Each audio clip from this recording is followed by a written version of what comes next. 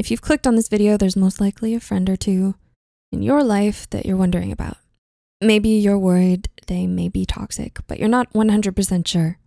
It can be challenging to navigate the fine line between giving someone the benefit of the doubt and recognizing when it poses a genuine threat to your mental health. This is why we wanna give you six warning signs of a toxic relationship. Before we begin, we wanna disclose that toxic and abusive friendships are two different things.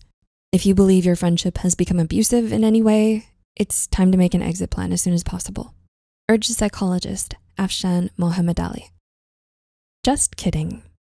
Real friends are your forever cheerleaders. They wanna build you up and make you feel good about yourself. Toxic friends, however, tease and insult you on the regular. They may tell you they're just kidding, but if they don't change their behavior when they learn it hurts your feelings, it's a friendship red flag. One at all. There's a difference between being super close to your BFF and feeling like they're trying to glue themselves to you. A toxic friend can be someone who wants all of your attention all of the time. These friends call you and text you without a break and require you to always respond immediately. If you try to pull away from a friend like this, they can even create fake crises to obtain your urgent support, explains therapist Nicole Arzt. Conditions attached. According to psychologist Dr. Carlson, a friendship that is conditional, which means that it's based on you doing certain things, wearing certain things, or being a certain way, can be destructive. Cue the infamous line from Mean Girls You can't sit with us unless you wear pink. Toxic friendships have this way of making you question yourself and compromise who you are to fit in. Immediately selected. You know the movie where it's the main character's first day at their new school and the villain picks them out of the crowd and befriends them immediately, telling them everything they'll wanna hear because they're on a mission to befriend them quickly because they have ulterior motives of their own. Someone who latches onto you and tries to become your BFF with urgency is a red flag, explains counselor Suzanne Degges-White. Tread lightly, as they might think you'll be able to get them a job, connection, invitation, or entry to something they couldn't get on their own.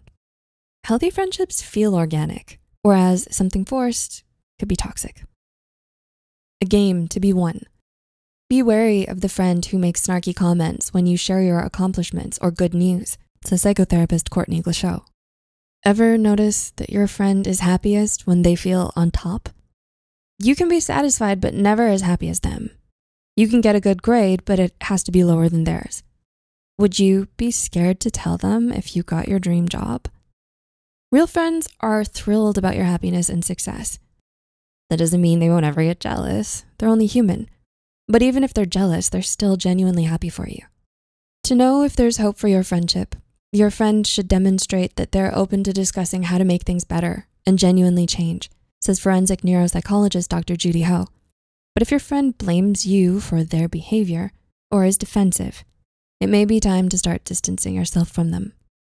Friendship breakups can be devastating, but sometimes necessary. Plus, chances are you've yet to meet all of your friends that you'll have in this lifetime, which can be a comforting thought. Can you relate to this video? If so, let us know below. And if it might help someone else, please share it with them. Thanks for being here, for being you. And if no one else has told you today, Psy want you to know that he's proud of you.